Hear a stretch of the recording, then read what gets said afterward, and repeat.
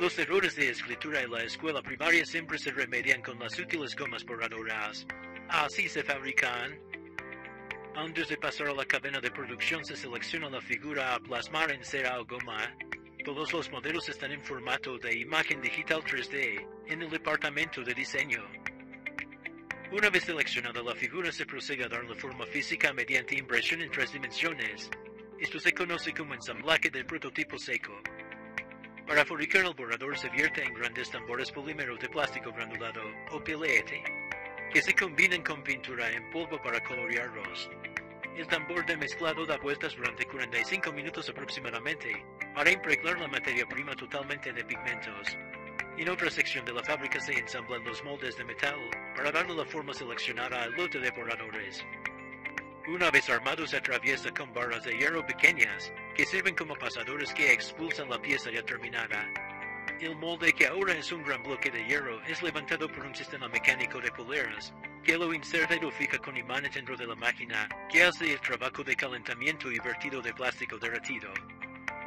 Para que la materia prima no termine totalmente fundida, se integran unas mangueras que disparan agua a punto de congelación para nivelar la temperatura y lograr que el producto siempre pueda tener una consistencia sólida.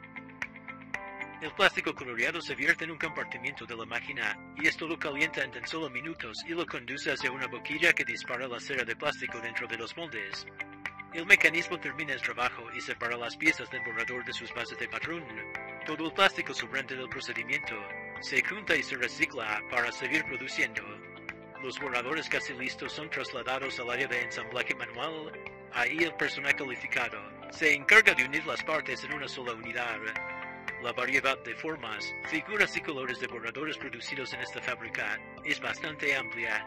Se arman animalitos, aviones, frutas y una gran variedad de diseños. Cuando cada lote ha sido completado se procede a la fase de embalaje. Los borradores pasan a su empaque y luego se llenan cacas con 50 unidades surtidas. El producto final ya completado está listo para ir a las librerías y papelerías de todas partes del mundo, donde pasarán a los niños en edad escolar que aprenden a leer y escribir. Los borradores son de suma importancia en esta etapa de la vida, cuando el niño necesita una herramienta eficaz para solucionar errores ortográficos, gramáticales o solo dibujo. Pequeño, resistente y con miles de figuras y colores, las gomas de borrar son parte de las listas de útiles escolares año tras año por su eficacia, comodidad y resistencia.